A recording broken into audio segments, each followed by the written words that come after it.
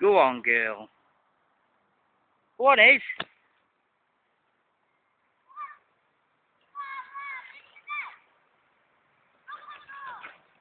Say hi, your mum. Hi, your mum. Go on then. Hiya, Mum. Say you're riding your bike. I'm riding the bike. Go on, girl.